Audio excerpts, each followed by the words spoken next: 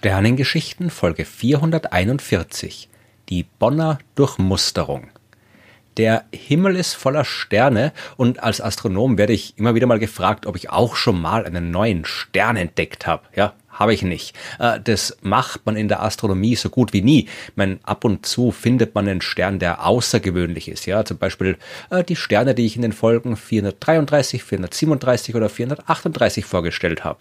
Aber diese Sterne entdeckt man nicht im eigentlichen Sinn. Man erforscht diese Sterne. Ja, und man findet unter Umständen irgendwas Cooles über sie raus. Es gibt am Himmel schlicht und einfach viel zu viele Sterne, um sie wirklich sinnvoll entdecken zu können. Man muss nur mit einem ausreichend guten Teleskop ausreichend genau zum Himmel schauen und hat mit einem Schlag mehr Sterne im Blick, als man überhaupt sinnvollerweise erforschen kann. Die Sterne sind da, ja, wir müssen einfach nur hinschauen, um sie zu sehen.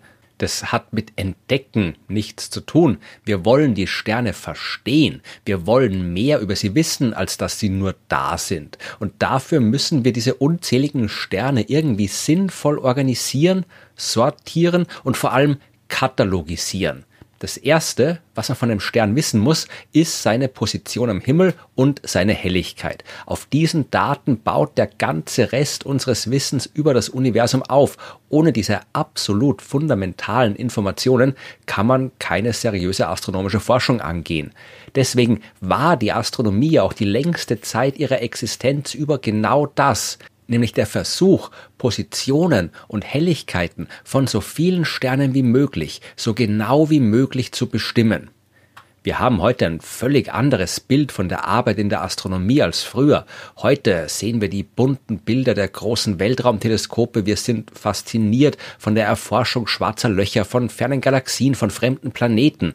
Die Astronomie ist ein großes Abenteuer, bei der wir quer durch das gesamte Universum wandern.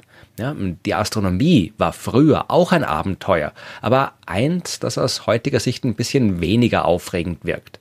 Wer früher, und äh, damit ist jetzt alles gemeint, was circa bis zum Ende des 19. Jahrhunderts stattgefunden hat, wer also früher ernsthaft astronomisch gearbeitet hat, hat vor allem sehr gut rechnen und beobachten können müssen und hat absolut kein Problem damit haben dürfen, über längere Zeit hinweg immer die gleichen sich wiederholenden Arbeitsschritte zu absolvieren.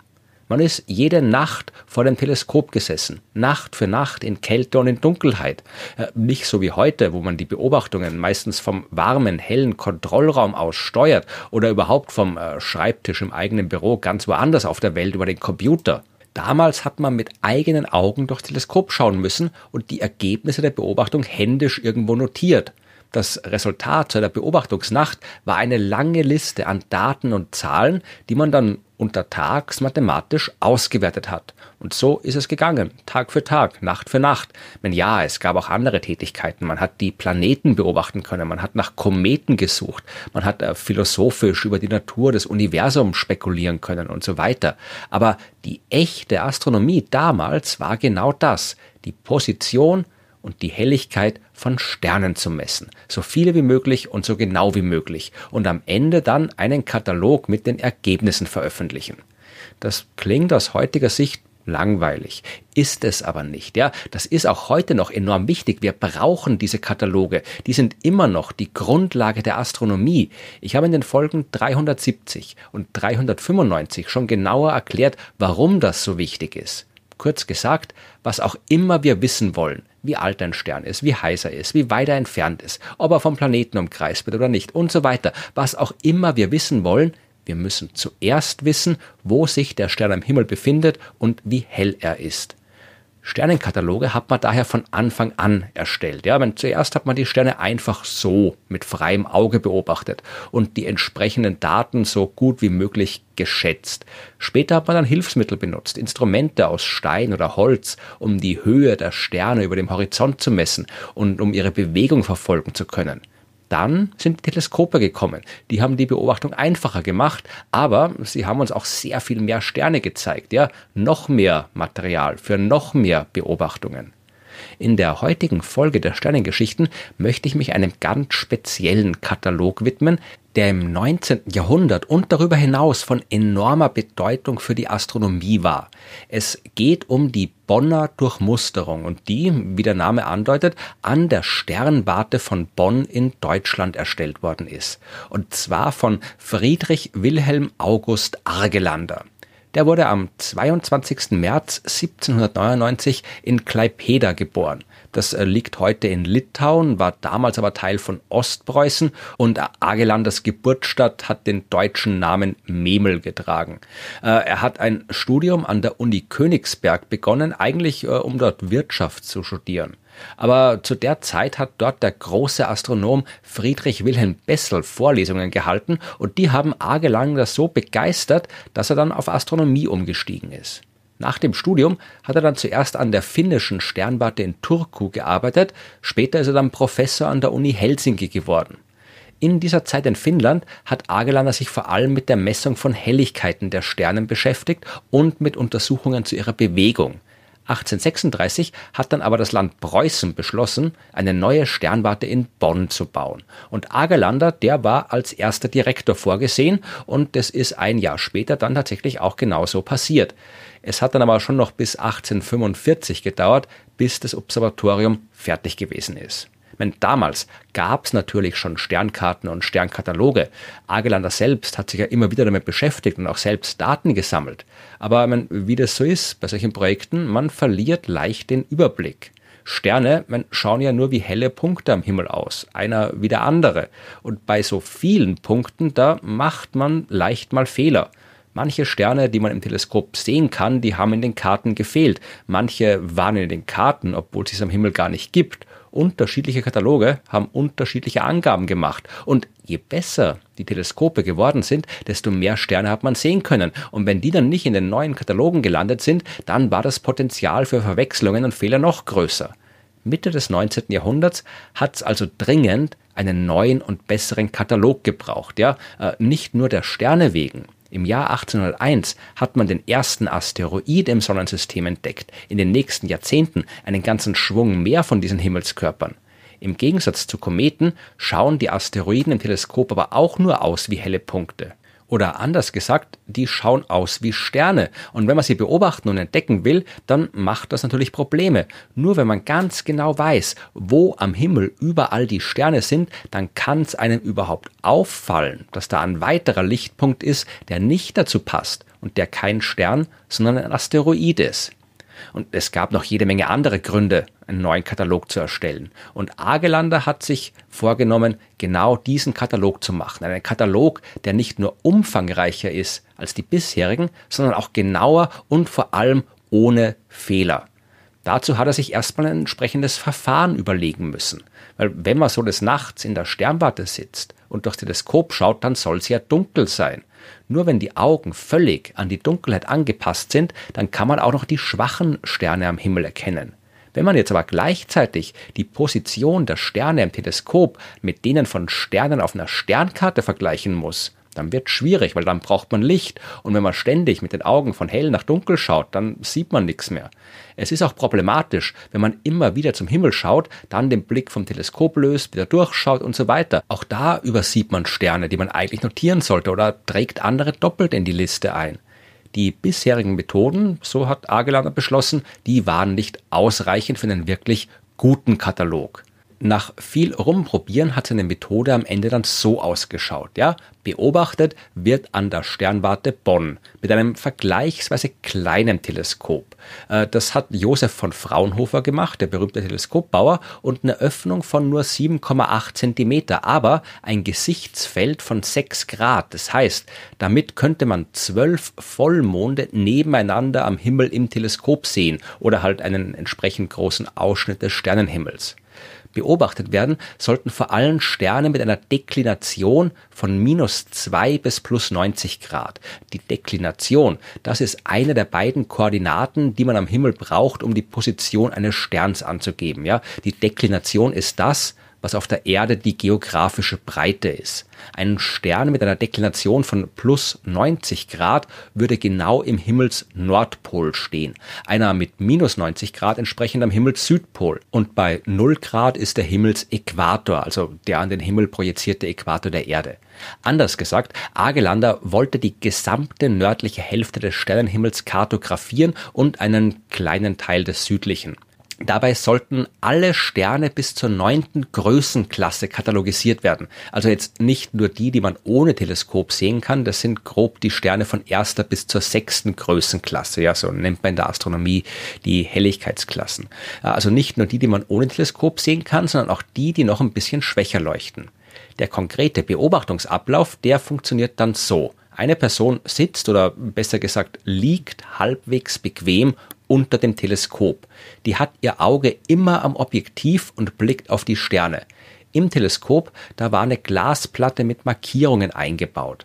Einmal waren da waagrechte Striche, um direkt die Deklination ablesen zu können, auf sechs Bogensekunden genau, also mit einer Genauigkeit von 0,0016 Grad. Ja, es braucht jetzt aber noch eine zweite Koordinate für die Position, die Rektaszension die wird in der Astronomie in Stunden gemessen. Die entspricht der geografischen Länge auf der Erde. Das kann man sich vereinfacht gesagt so vorstellen, ja. Der Sternenhimmel dreht sich. Scheinbar natürlich, weil sich ja die Erde um ihre Achse dreht. Der Sternenhimmel dreht sich also in 24 Stunden einmal komplett herum markiert man die Position eines Sterns zu einem bestimmten Zeitpunkt, dann wird er 24 Stunden später wieder an diesem Punkt sein. Wie gesagt, das ist eine vereinfachte Darstellung. Ich habe das in Folge 307 genauer erklärt. Man hat jetzt also einen bestimmten Punkt am Himmel ausgewählt, den Frühlingspunkt, also der Punkt am Himmel, in dem die Sonne genau zu Frühlingsanfang zu finden ist. Und von dem Punkt aus misst man die Rektaszension, ja, genauso wie man auf der Erde die geografische Länge von äh, Greenwich in London ausmisst. Der Frühlingspunkt, der dreht sich mit dem Himmel mit und darum bleibt die Rektaszension eines Sterns immer gleich. In der Praxis, ja, beobachtet man den Sternenhimmel in dem Teleskop, das fix montiert ist. Man sieht darin also, wie die Sterne sich mit der Drehung des Himmels bewegen. Sobald sie eine bestimmte Grenze überschreiten, und dazu hat Agelander eine vertikale Linie auf die Glasplatte in seinem Teleskop gemacht, sobald sie also diese Grenze überschreiten, schreibt man den exakten Zeitpunkt auf. Ja, und aus dieser Zeit kann man dann später berechnen, welche Rektaszension der Stern hat. Die eine Person, die unter dem Teleskop liegt, die tut also nichts anderes, als die durch das Blickfeld ziehenden Sterne zu beobachten. Sobald ein Stern die vertikale Linie passiert, ruft die Person laut die von ihr geschätzte Helligkeit in den Raum hinaus. Dort sitzt eine zweite Person, die ständig eine astronomische Uhr im Blick hat. Die schreibt die Uhrzeit auf und die Helligkeit in der Liste, während die erste Person die Deklination notiert, die ja im Teleskop ablesbar ist und das natürlich ohne den Blick vom Himmel zu lösen. Das kann durchaus stressig werden, ja. Bei Agelanders Beobachtungen hat man manchmal bis zu 30 Sterne pro Minute notieren müssen. Sicherheitshalber hat man deshalb immer zwei Durchläufe gemacht und nur dort, wo beide Durchläufe übereingestimmt haben, hat man die Daten dann in den Katalog aufgenommen. Die beobachteten Personen, die waren auch meistens nur zwischen einer und eineinhalb Stunden bei der Arbeit, sonst wäre das zu stressig geworden. Und während dann ein frisches Team die Arbeit weitergeführt hat, sind die gerade gemachten Beobachtungen sofort verglichen worden und man hat nach Unstimmigkeiten gesucht, solange äh, man alles noch äh, frisch im Gedächtnis gehabt hat, was man gerade gesehen hat. Agelander selbst, der hat da vor allem die Organisation des ganzen Projekts übernommen. Die Beobachtungen, die wurden hauptsächlich von seinen Assistenten Eduard Schönfeld und Adalbert Krüger gemacht. Das Projekt hat am 25. Februar 1852 angefangen und die letzten Beobachtungen, die sind am 27. März 1859 gemacht. In dieser Zeit hat man 324.198 Sterne vermessen. Bis der Katalog dann fertig war, hat es aber noch gedauert. Der erste Teil, der konnte gleich 1859 veröffentlicht werden. Die Teile 2 und 3 dann erst 1861 und 1862. Und damit war der beste, umfangreichste und genaueste Sternenkatalog der damaligen Zeit fertig. Der ist schnell unter dem Namen Bonner Durchmusterung bekannt geworden und wenn heute gibt es natürlich wesentlich bessere Kataloge. Das Weltraumteleskop Gaia hat 2018 eine Datenbank mit Informationen über 1,7 Milliarden Sternen veröffentlicht. Aber für das späte 19. Jahrhundert war die Bonner Durchmusterung absolut hervorragend und ihre Spuren, die findet man heute immer noch, zum Beispiel in der Bezeichnung für manche Sterne. Viele, die keinen prominenten Namen haben, die werden manchmal immer noch mit ihrer Katalognummer aus der Bonner Durchmusterung klassifiziert. Zum Beispiel BD plus 19 Grad 2777. Das ist der 2777. Stern im Katalog in der Zone am Himmel, die zwischen 19 und 20 Grad Deklination liegt. Äh, in dem Fall hat der Stern übrigens einen prominenten Namen. Ja, das ist Arcturus im Sternbild Bärenhüter. Die Bonner Durchmusterung, die ist bald nach ihrer Fertigstellung erweitert worden. Eduard Schönfeld, der ist äh, nach Agelanders Tod im Jahr 1875 selbst Direktor der Sternwarte in Bonn geworden. Der hat bis 1881 immerhin 133.659 Sterne am Südhimmel katalogisiert und ein bisschen später dann ist äh, diesmal unabhängig von Bonn die Cape Photographic Durchmusterung für den Südhimmel von Südafrika aus durchgeführt worden. Diesmal jetzt schon fotografisch und man hat es geschafft, knapp eine halbe Million Sterne in den Katalog aufzunehmen. Gleichzeitig haben sich Astronomen der argentinischen Nationalsternwarte daran gemacht, den kompletten südlichen Himmel auf die gleiche Weise wie Agelander zu katalogisieren. Und das Resultat war die Cordoba-Durchmusterung, die 1930 mehr als 600.000 Sterne umfasst hat. Heute macht man solche Katalogprojekte mit Weltraumteleskopen. Die erforderliche Genauigkeit, die ist so groß geworden, dass es von der Erde aus nicht mehr vernünftig machbar ist. Aber die alten Daten haben immer noch ihren Wert. Oft braucht man alte Informationen, um die neuen besser einordnen zu können. Bonn mag jetzt nicht mehr die Hauptstadt von Deutschland sein. In der Astronomie ist der Name der Stadt aber immer noch bestens bekannt.